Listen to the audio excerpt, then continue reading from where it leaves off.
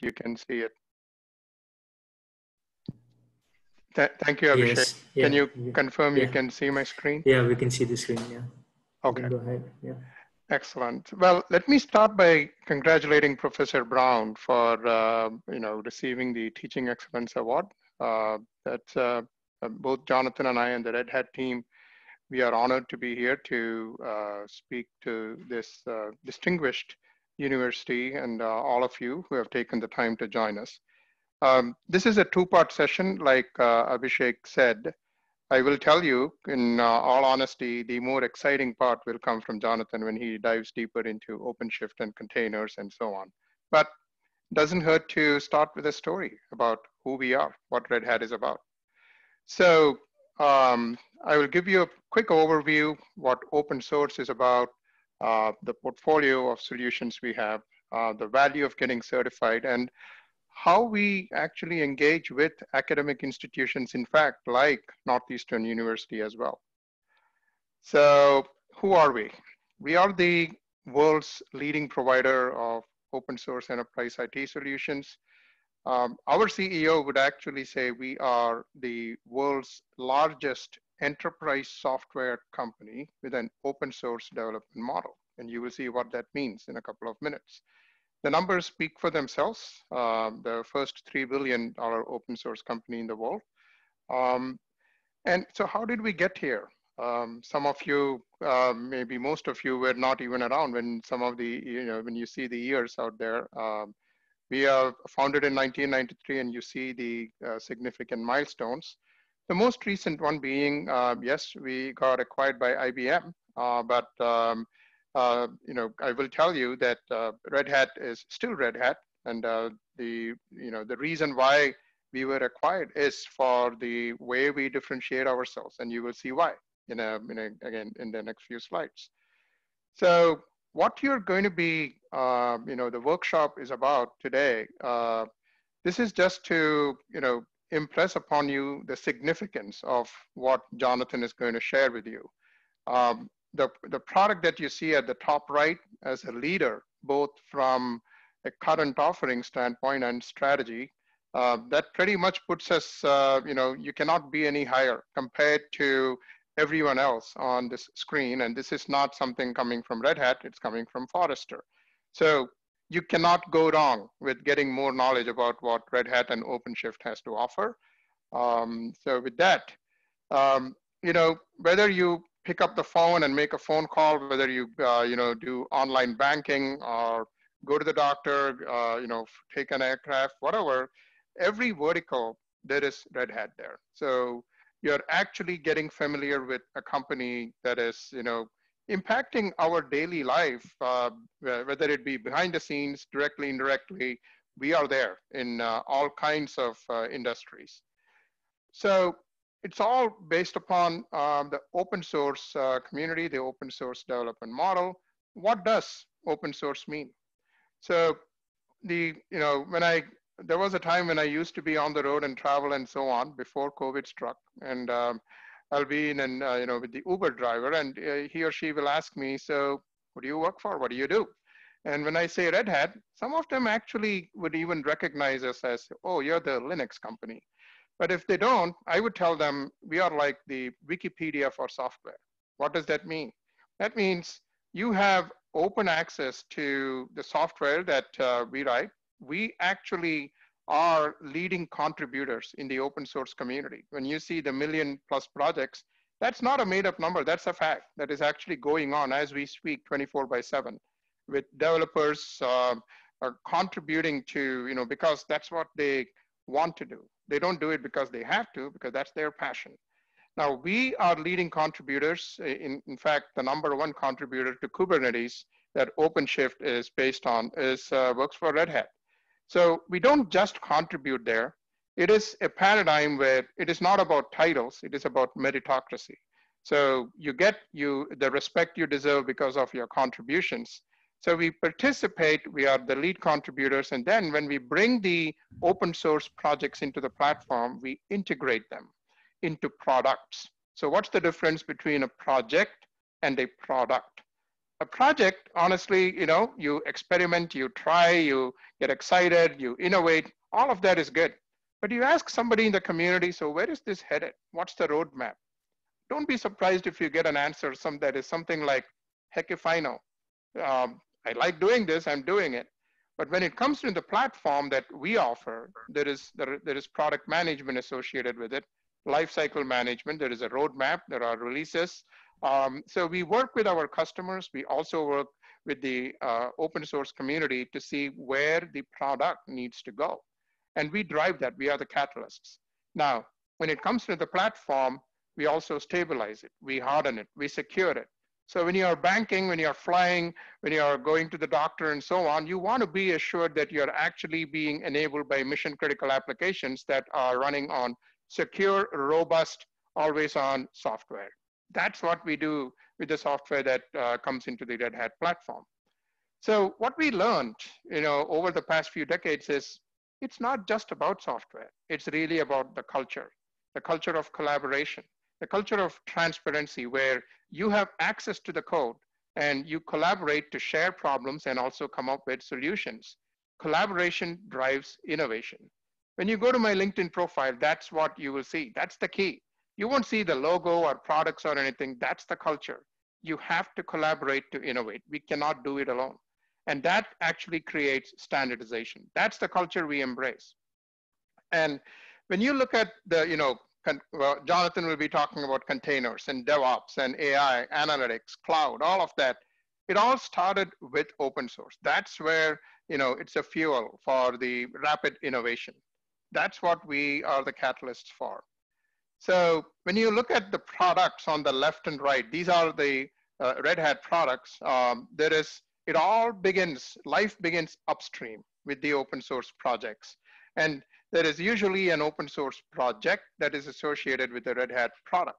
So Fedora with Red Hat Linux, um, CoreOS with the Red Hat Enterprise Linux Core OS, Ansible, and so on. So that's the model that uh, we embrace. And there is a very rich portfolio. We are, you know, in addition to the very strong global foundation that we have on Red Hat Enterprise Linux, there is, you know, uh, oops, uh, software for uh, the infrastructure across multiple clouds. Jonathan is going to double down on OpenShift to integrate it with applications. And then I would call it the developer's paradise with CodeReady Workspaces where you have a controlled set of tools at your disposal. Um, and then you have management software that goes across the, the cloud environments. Doesn't matter where you are, you can innovate where you want. That's the Red Hat message. Now, what's the value of getting certified on Red Hat? So if you actually poll the CIOs, and we have done that, the you know 65% of the leaders report that skills shortage is really what is holding them back. You know, when customers and companies, when they say we are a technology company, what are they saying? They're actually, you know, uh, leveraging technology for sound business reasons to, uh, you know, for business differentiation.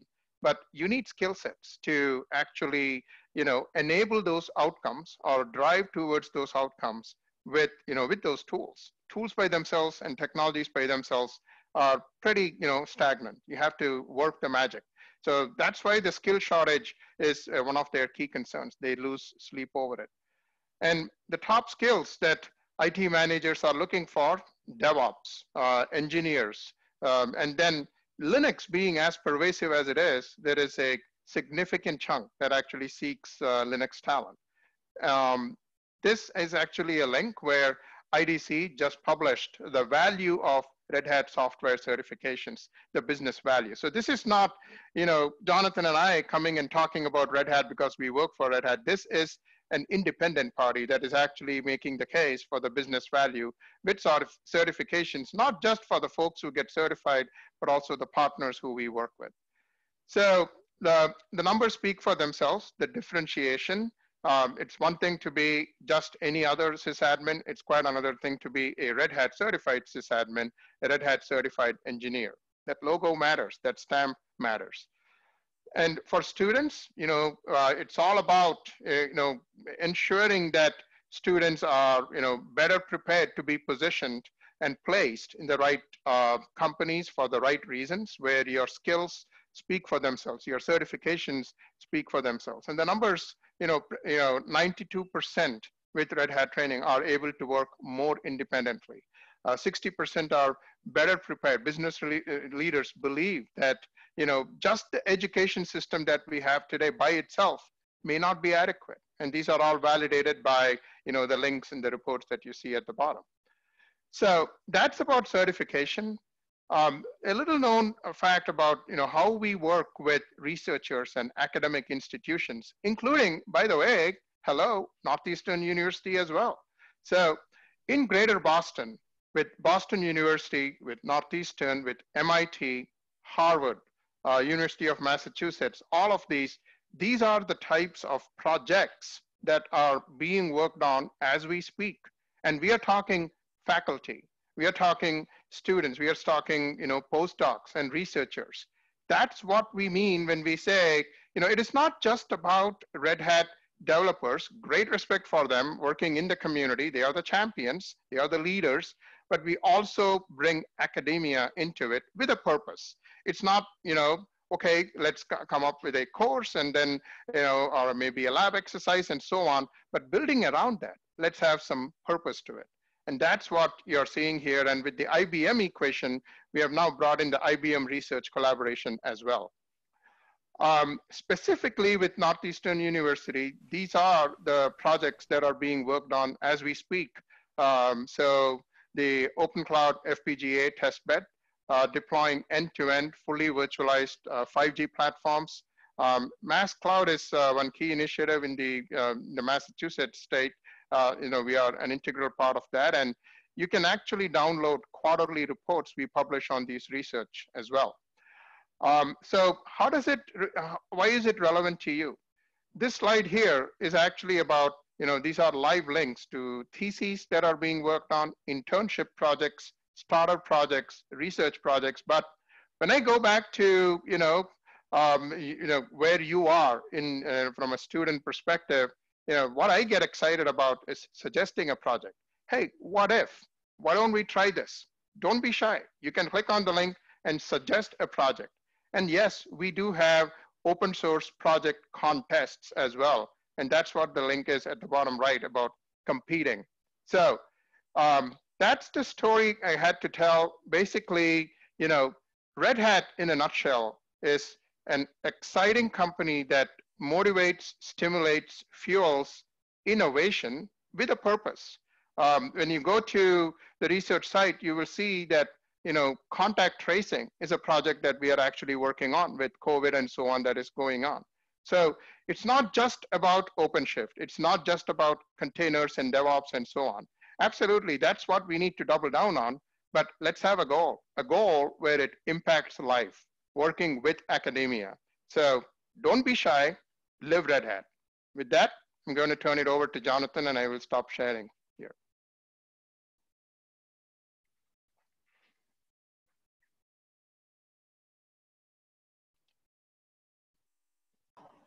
Thanks, Nadhan. I think that was really great.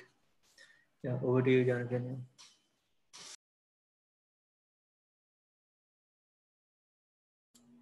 All right, here we go. Uh, I figured it out. Can you guys see my screen? Yes. Yeah. Okay.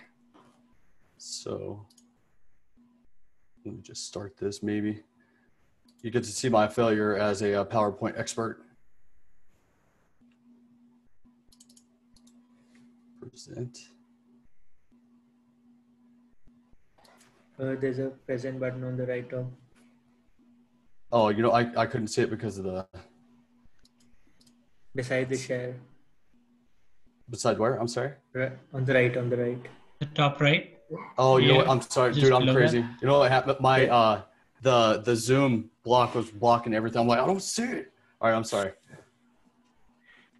All right, well, that's a great introduction. Perfect. You know, coming in and falling on my face right away.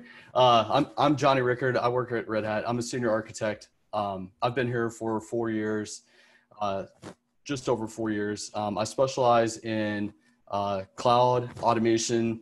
Um, I specialize in OpenShift and containers, and um, my job as a delivery architect is to make sure that my customers, when they um, purchase a solution that they purchase that they're getting more than just the tech that they bought right that they're getting the processes um, they're getting the the know-how and um, they're really um, instead of just getting a product they're they're like it's it's becoming part of their ecosystem and so that's really important to me and, and to the a lot of the people on my team.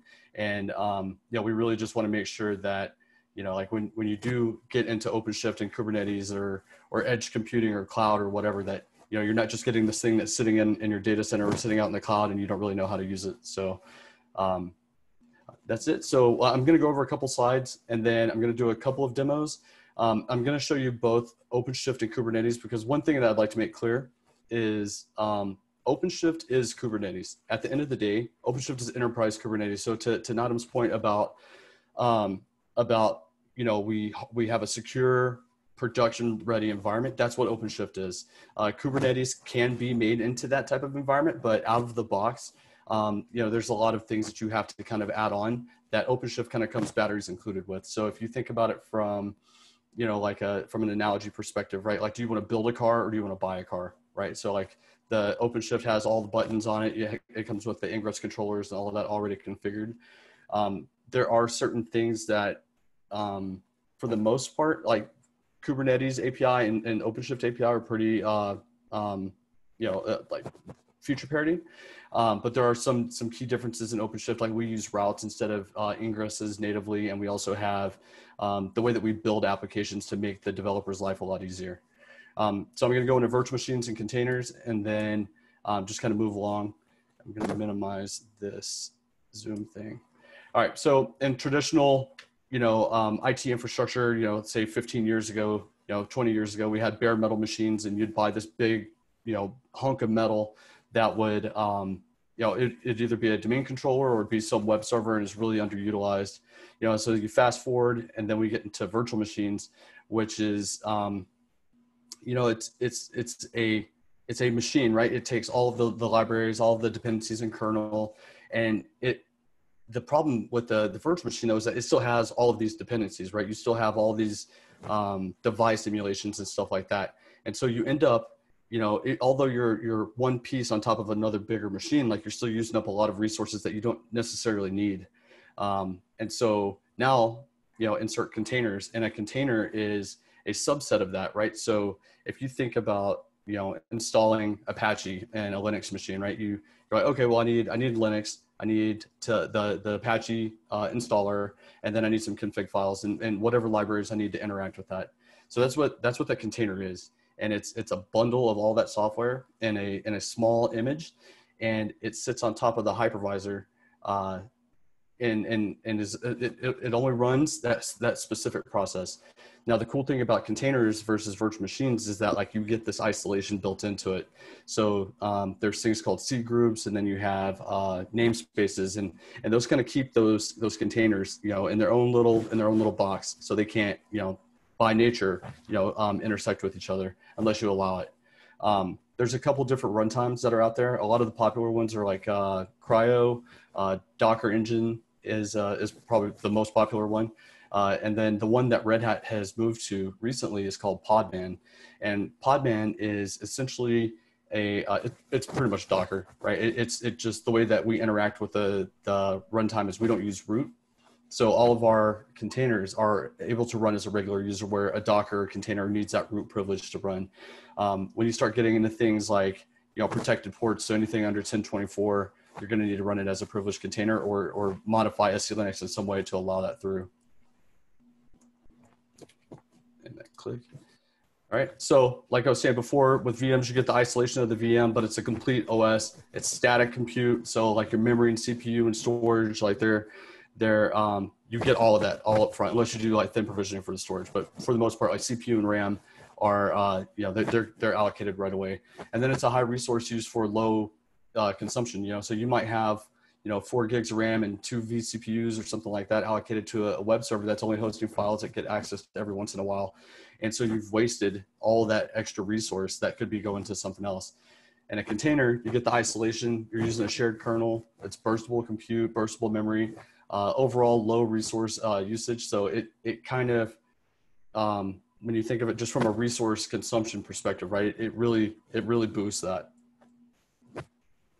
Um, and then the the thing that makes Kubernetes and OpenShift like just amazing is the fact that now I can take this little bitty pod or this little bitty container that I had that's running my Nginx server, and now I can scale. But what happens is like, um, you know, like to to traditionally do this, I would have to add a node, add it to the load balancer, and do all these things to kind of get that that you know that new device added in or that new machine added in. With Kubernetes, uh, it's all built into the API. So um, you know you have you have the, your machine, and then you're like, hey, you know what? I need to scale this up for whatever reason.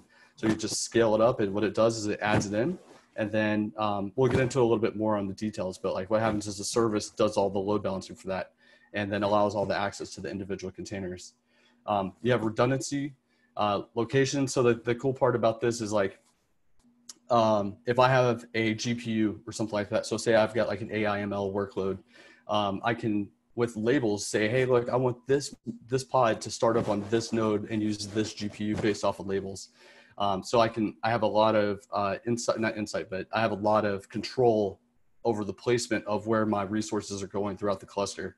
Um, and then the allocations of resources, so the CPU and memory. So you can define, uh, and, and, as a cluster administrator, you absolutely should, you know, especially if you're gonna have a multi-tenant environment, um, define the amount of, of resources that a pod can use. Like you can, you can define the, the amount that it can even ask for, and then you can set the limits of what it, what it can actually get.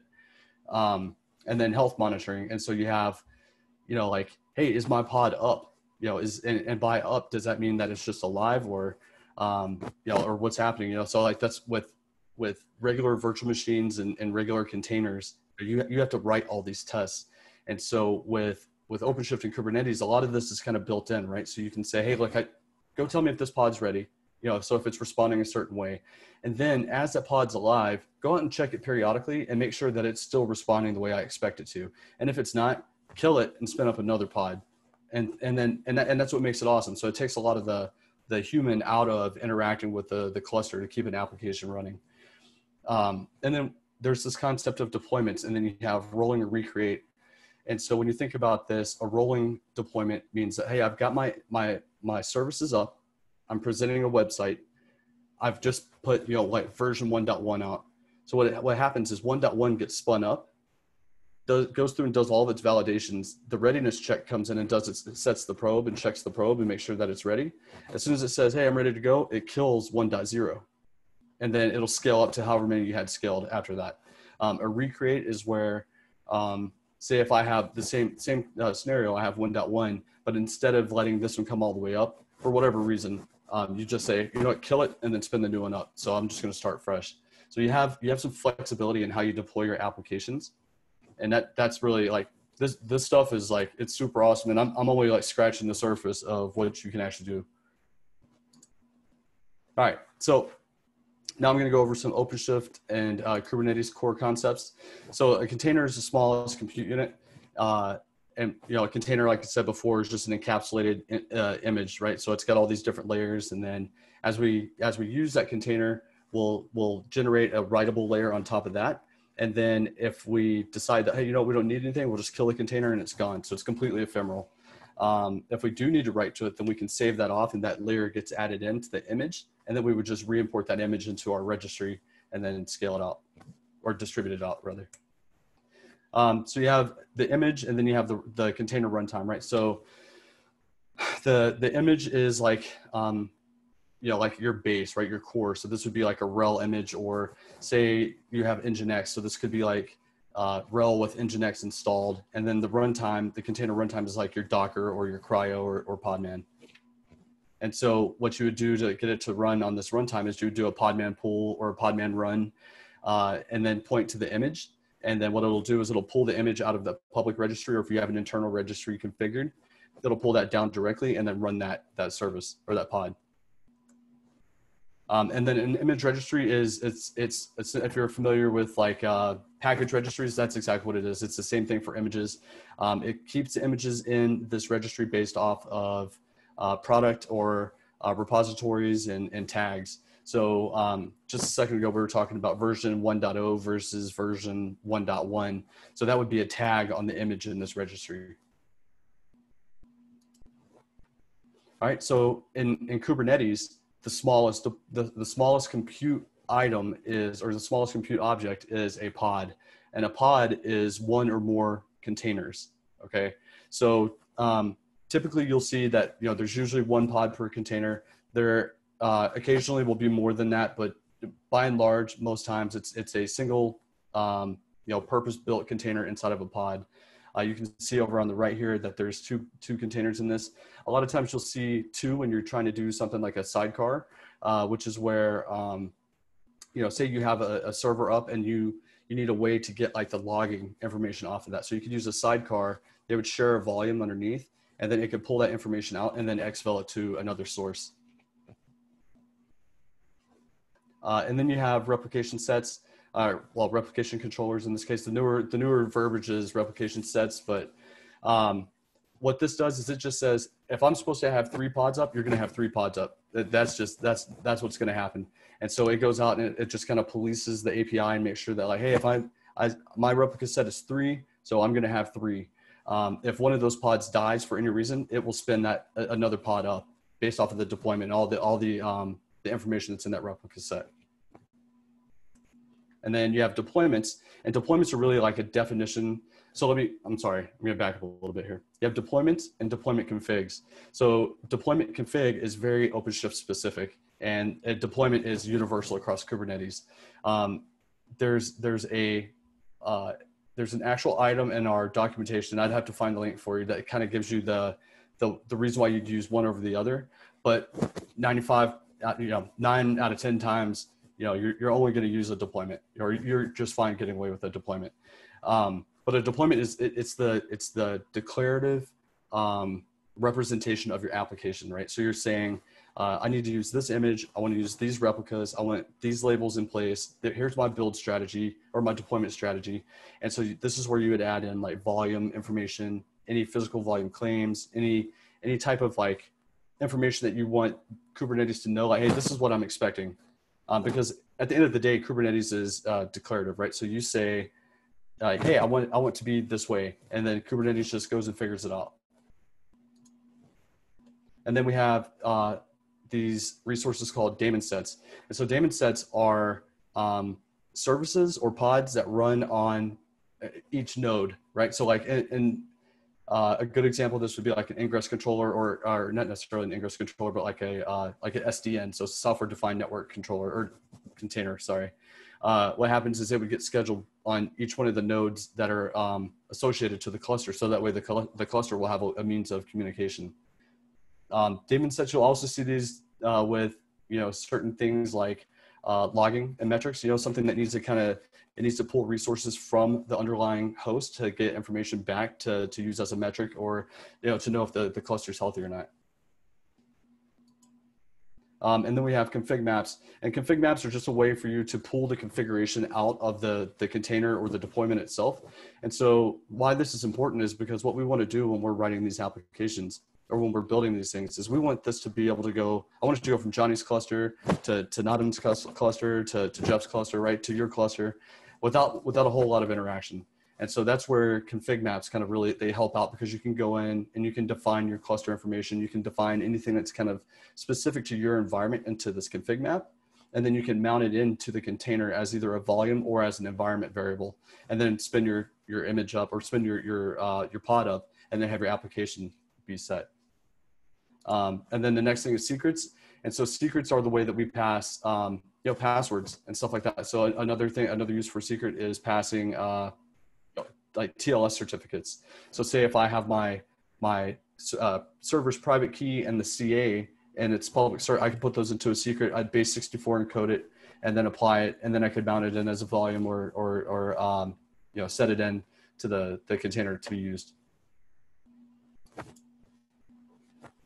all right and then we have services and so services are um, these are key, right? So a service is essentially like it's the ringleader for the for your application. So you set up the service. He knows where all the pods are. He knows all the information about them, right? So if I'm I'm uh, if you look down below these pods, you have the different IPs. So that means that they're on different hosts. So what the service does, it says, hey, I know, come on in. You know, if you're coming into you know the backend service, right? You're gonna go talk to this pod. You're gonna go talk to this pod. When we start talking about um, let me not get too far ahead, but the the service is it's super important when we start talking about like um, getting access into the application. Uh, you can also have this thing called a headless service, which is when we're trying to do like a service discovery, and we want to go out and we want to we want to probe the environment, or we want to use something that's in our environment and use it internally to the service, so or to the cluster, and, and something that's um, like a good example of something like that is when you have like a satellite server or a yum server and you you've got like this build process right? And as part of your build process it does like a yum update or you know an apt get or whatever. And so you could have that service configured to where it will go out use that service name talk to that that yum server or that that uh, package server and then pull everything in. Uh, and this is just showing that like the pods they can talk to each other via services right? So um like it, it's pretty cool how it all works. Like they, um, when the pod needs to request something, it, will reach out talking over the, the cluster network. And then the server says, Hey, I know where that is. And then it'll, it'll route the traffic in. Um, and then we have routes and in Kubernetes, this is the other distinction I would like to make here. So routes are very OpenShift centric. Um, the, the Kubernetes way of doing this is called ingress. Um, but they are essentially the same thing, but ingress is used just a different API and they're, they, they handle things a little bit differently. Routes can um, you know, routes natively handle uh, TLS, where ingresses they just started. Um, I don't know the exact time frame, but they just recently started uh, using the TLS uh, built in. So, but routes are how you access your application from outside. So if I stand up this application in my service or in my cluster, I would expose the service and then I would define a route. And then what will happen is when I say, hey, look, I need to get to appprod.mycompany.com, I would hit that. DNS would say, um, you know, my app or appprod.mycompany.com is actually this load balancer's public IP. That load balancer will route down to the uh, HA proxy inside of OpenShift, which will say, hey, I've got this header for this application. And then it points it to the service, and the service says, hey, I know how to do this. And then routes it down to the pod for um, the display or to, to uh, you know, show the app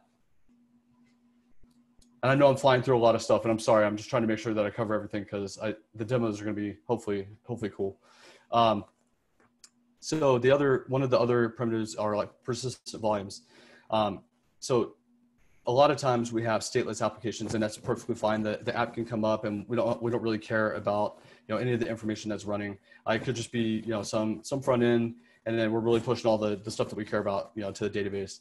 Um, or to, to an app server and then that's talking to the database and that's where all of our stuff is. Um, but sometimes we want our application to have state. And so that's where these persistent volumes come in. And so persistent volumes in Kubernetes can use all types of storage providers. So um, if you're in AWS, you can use GP2 or EBS. Uh, GCP is like their standard volumes, you know, Ceph, Gluster, local disk if you wanted to use that. Uh, so all these things, and those are defined in the storage class. And um, what that does is it makes this this provisioning of these resources. So you say, hey, as an application owner, I need to I need to maintain some state, right? So I I make a claim and I say I need this, you know, the permissions that I need on the on the uh, claim. Here's the size, and then um, and here's here's the the type of storage that I want to use. So if you have like um, you know you know gold, silver, and bronze, you know storage tiers, right? You could say, hey, I, I always need gold level storage for my my uh, my web app that you know host like a you know text file for somebody to be used every once in a while but i need the best storage all of all all times. What that does is it interacts with the api and it creates a pv or persistent volume. And then what that does is that interacts with the underlying system and it'll either generate that that uh, local disk or that that resource on the disk or it'll go out to the api and it'll talk to the cloud and it'll it'll provision that ebs volume or that s3 bucket or whatever it is that you're using. And then it mounts it into the pod and then uh, so when like when you were to log into your pod you can actually go to that mounted directory and see the you know like that you had state and that when you killed the pod and you brought another one up based off of that deployment or replication set or whatever it'll still mount that volume in. And now you have consistent volume in a stateless application. All right so now we're going to talk about the developer experience. And and this is where i think that openshift has really i mean like we we have gotten so good at this and you know we've taken a lot of input from um, a lot of customers and uh, just the the interaction with OpenShift itself has gotten so much better um, that it, it is just it's awesome to use. Um, so the way that you know a high level workflow is you're going to deploy your source code. You know, you'll put that in Git, and then or you can deploy your own binary, or you can bring your own container image, right? So like there's all these different ways that you can um, that you can get your application in the cluster and it's not a one size fits all it's it's you know kind of whatever whatever makes you feel right right? It's if, if you're comfortable deploying your own source code and running through the entire pipeline it's totally fine. We have this capability called s2i where we have a base image and then you can apply your code to that and it, you essentially start at that base image and then it will build that uh, your, your code into that image and then redeploy it out. It'll push it into an internal registry and then um, you'll be able to reuse it over and over again or if you have your own container container image, you've written your own Docker file uh, that does everything that you need it to do, and you don't need to change anything. You can just deploy that in here as well. Um, something that we have done extremely like something that we put a lot of focus on is, is CI/CD, um, GitOps, DevOps, you name it, right? Like it's we're we're it's, it sounds like buzzword bingo, but we're really trying to get like all of these like uh, processes and mindsets like built into the product. So that way you can go from keyboard to tool to production right? It, it's it's all about making uh, the developer that much more efficient. So that way they're not worrying about all these other things that happen down the line. They can commit their code push it into a ci pipeline and then let it go and then and then have the cd aspect of it push it out. Um, and then as as part of that build chain you know deploy any artifacts that come out, like any ears or wars or whatever that come out of this, push it into an artifact repo, and then you know pull it back in when it's needed. Uh, so it, it's pretty awesome. Right now, the the main one that we use is, is Jenkins, and um, there's one called Tekton that I, I believe it just GA'd. I'm pretty sure it just GA'd, but it might it might still be tech preview. Um, but Tekton is it's a it's a CI tool that we have that's built in and um, it's called the the product itself is going to be called OpenShift pipelines, and so it's just meant to help make this this interaction in this in this diagram that much easier. And then this is just another picture of like the the continue the CD pipeline. So you know you, you you're a developer, you push to Git, it goes into your build and deploy uh, CI pipeline, ends up going into like a Nexus or whatever, and then goes through all the different testing, and then gets promoted, and then you're in production so the idea is that when you're when you're writing code in this first phase of your pipeline, you well, obviously it's going to work the first time because we just wrote it right. We know our stuff's perfect.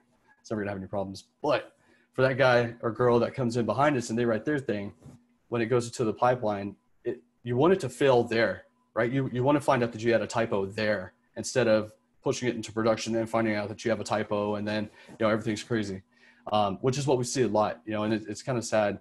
Um, but these tools and these processes and these workflows this is this is like when i was talking in the beginning i know i've said a lot since then but uh, when i was talking in the beginning about the mentoring right? This is this is kind of that vision right? And it's not a one size fits all. It's not cookie cutter. You know it's it's how do we get you to this? Like how does this fit where you are? And then um and how do we tune this and and make this to where you're going to use this every day and get in this workflow. So that way you, can fail faster and you can be in production faster. And you know you can have all of these things and capabilities without the fear of uh, you know like you're holding your you're covering your eyes when you hit submit to see if it fails you know like you want you don't want to have that anymore. You just want to be you know extremely confident. Um, and so just some resources. So if you're interested in trying out kubernetes um, you don't have to install a cluster to do so. There's this thing called minikube and you can install it locally on your laptop or your pc whatever you have um, i don't it works on a Mac and it works on my uh, Fedora machine. So I, I, pretty much I expect it works pretty much anywhere. Don't know about Chromebooks, um, uh, but all the information you want to know about Kubernetes is on Kubernetes.io. And another important one is that you know you have Kubernetes, and then you have like the ecosystem, right? The, the like community around Kubernetes that makes Kubernetes all. Kubernetes by itself is awesome, but like all of these resources in this big umbrella that like make up the rest of the uh, uh, you know the community is just amazing, and that's CNCF. And um, just go out there and just check it out. There's so many projects out there, and they're all doing really awesome stuff. And uh, you know, it's just on a daily getting better.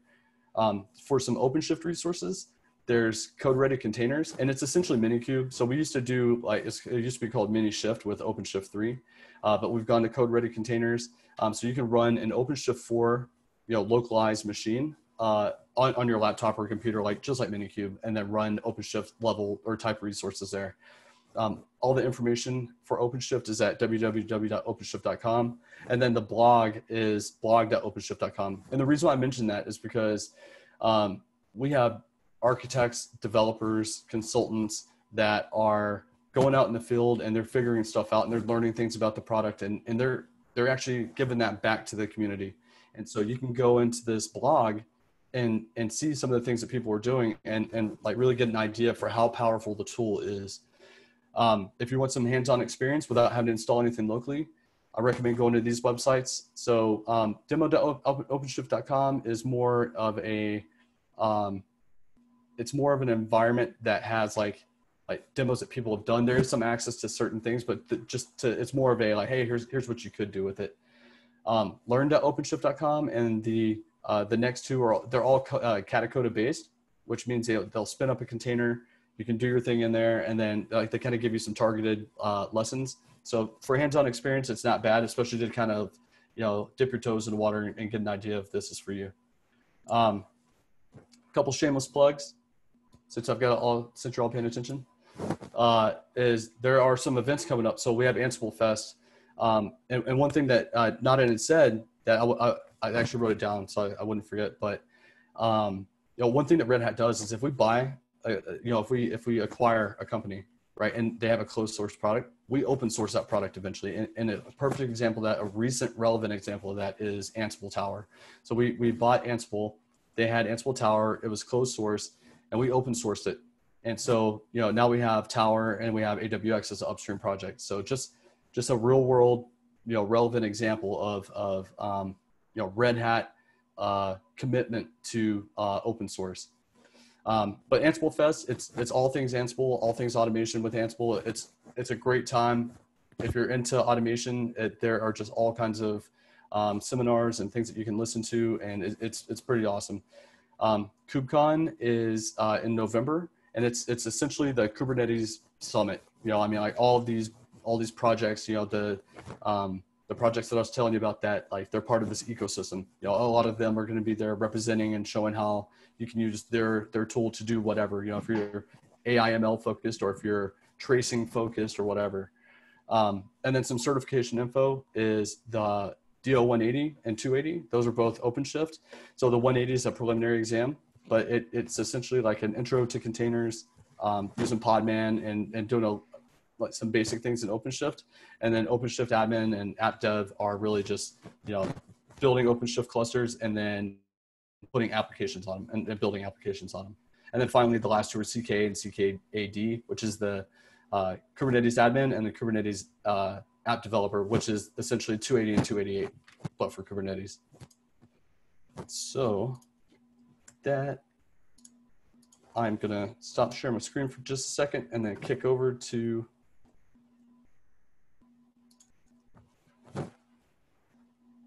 Does anybody have any questions? I know I talked really fast, but I wanted to make sure that I I covered everything.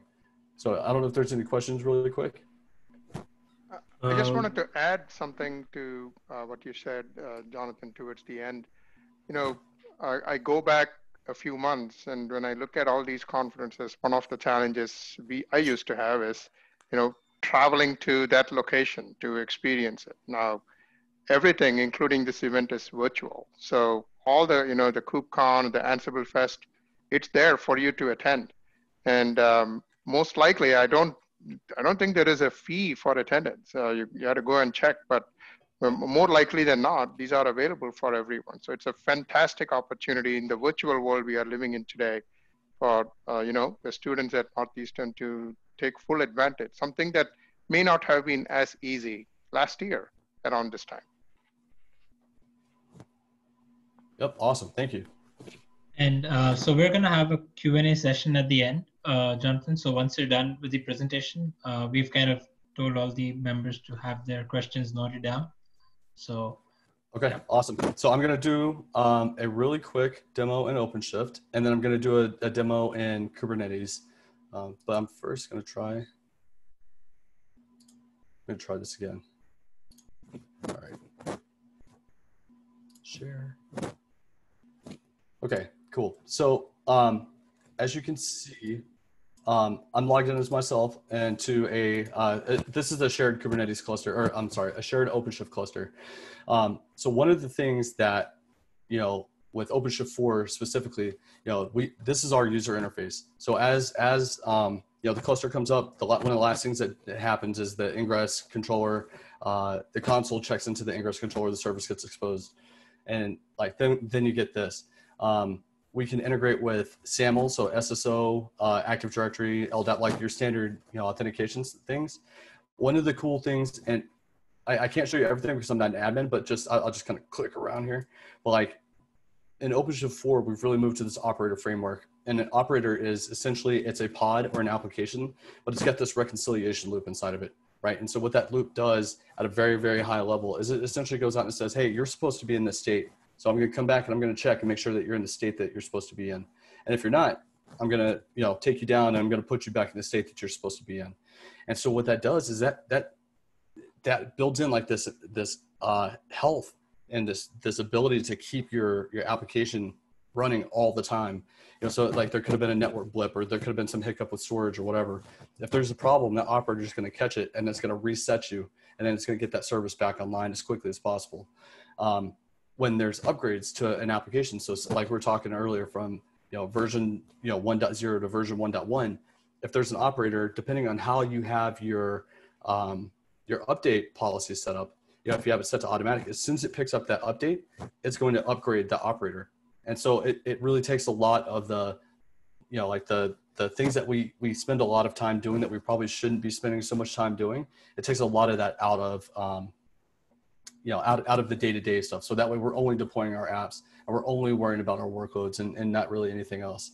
Um, so looking at the ui here we have um, you know this administrator view which this is it, it, says administrator but it's really very limited administrator. Like you, you have the menu and there's some things that you can see but like there's just not that much there. Uh, but the one that we're we're going to focus on is the developer view. And so what i'm going to do is i'm just going to um, you know create a new project and we're going to call it demo.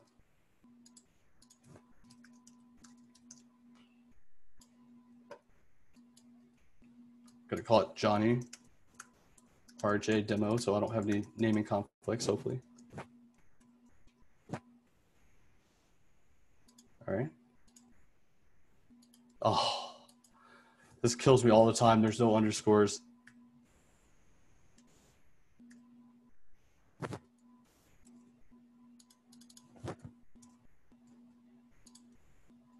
There we go. All right, cool. So now, you know, just just at, from a project level, right? Just from a, a, a workflow. So all we've done is we've created a project. There's nothing there. You know, we've got basic resources. Uh, there's nothing really going on in here. You know, so just as a visual though, right? You can see where, you know, this is kind of like, hey, I, I've got pretty much all the information I could need in this in this set. So let me let's start building some stuff. So let's do from catalog.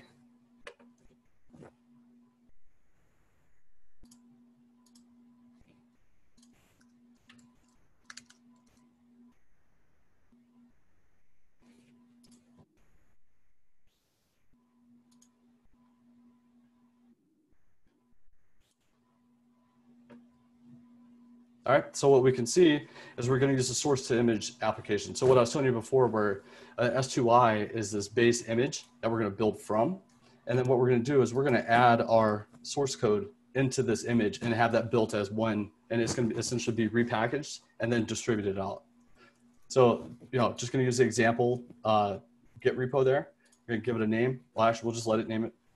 And then um, finally, what we're going to do is we're going to expose the service. So when this when this runs all the way through, it's going to pull the image down. It's going to apply our source code to the image. It's going to push it into the internal registry inside of OpenShift. And then it's going to build out the pods and the deployment and the services. And uh, it's going to generate a route based off of that service, uh, excuse me, off of that service. And then we'll be able to get to it. So we click create.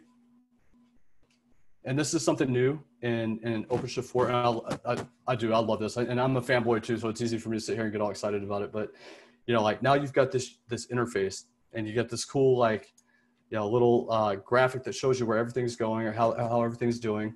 Um, and then when you have you know a, a big project with a bunch of microservices, right? You can actually see how they're all kind of connected. And then when you have something like a service mesh that sits on top of that, you know, then you can really see like like really really how they're talking. And it, it's just you know from a visual perspective, it's it's pretty awesome. And as you can see, like we're, we're going through a deployment now. This is the application. And then uh, I'm going to come over and I'm just going to look and see what's going on. So, yep, still building.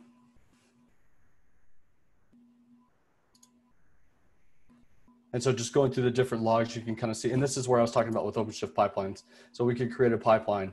Uh, so it is, it's still tech preview. Okay.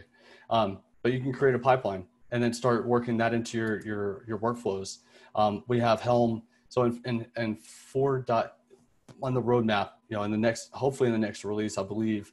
Um, but if not this one, then the next one, they're going to have Helm 3 support. So that way, you know, if you're using the Helm charts that are a little bit uh, older, you know, you'll be able to you'll move them over. If you want to go with the newest, the latest, and greatest, then Helm 3 will be out pretty soon. All right, so got our little green check mark here. So the app is all the way up. So we can see that it went through a build. Uh, we, we have a service now, and now we have this route. So just like that, with a few clicks and you know me typoing a bunch, we have an application up. So like I, at the end of the day, this this isn't like the you know the end all be all, but it just shows you the capability of like just how quickly you can get an application going, uh, you know, inside of OpenShift. Um, and then I'm gonna see, we'll see if this other one works. I'm gonna run it from Kubernetes. I was, I'm trying to write it with, uh, I've been trying to get fancy and write this in um, using Kustomize. and uh, we'll see if I can repeat what I've done.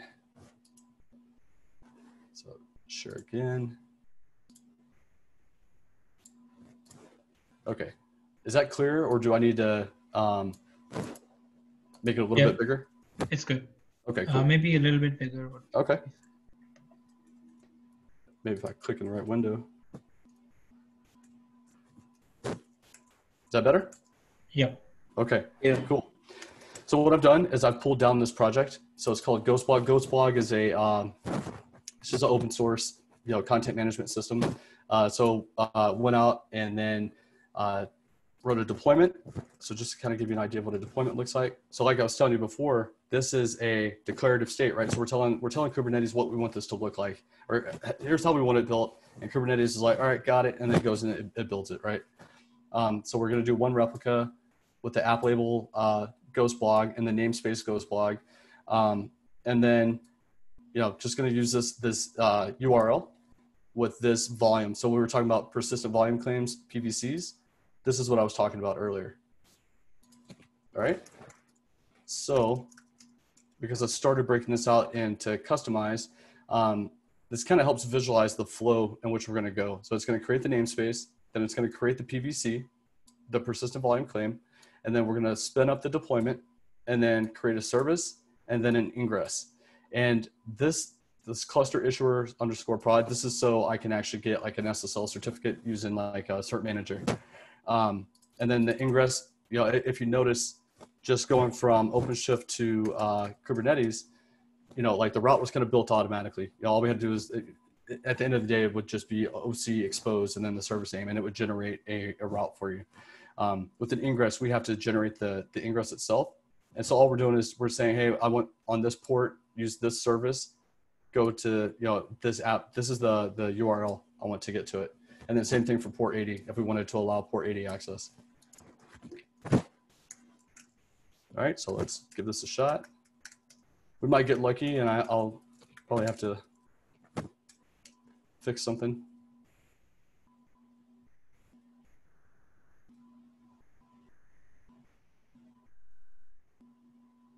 Oh, snap.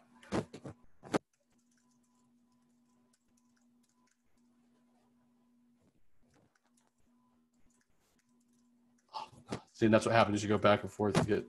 Uh, so I, I aliased K. So K is kubectl. Uh, get pod minus n. All right, cool. So now we have our pod. So now let's do a curl.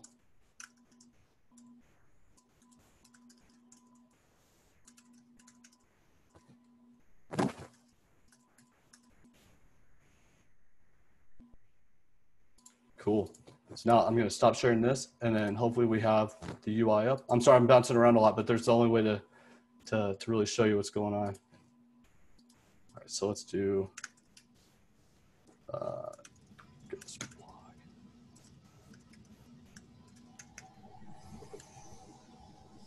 and then obviously my cert didn't work. Why wouldn't it?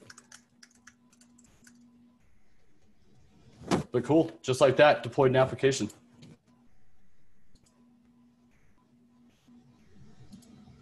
So I, I know I talked a lot and I know I talked a lot about a lot of things and I'm sorry because that's crazy. Uh, and I just turned my video off. I meant to stop sharing. Uh, but like, as you can see, like with a, an OpenShift and Kubernetes or using the CLI, like if I were to do the same thing in OpenShift, I would just do OC instead of kubectl. But to be honest, I could have used kubectl and just interacted with the OpenShift cluster the same way.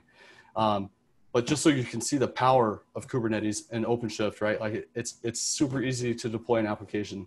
It's it's easy to get from from start to finish, you know, and and really have that capability at your fingertips, and and be able to spin things up and tear them right back down if they're not right, and then roll them out as you're upgrading and stuff like that. So there, there's so much power, and uh, it's just it's an awesome tool. I hope all of you guys get into it.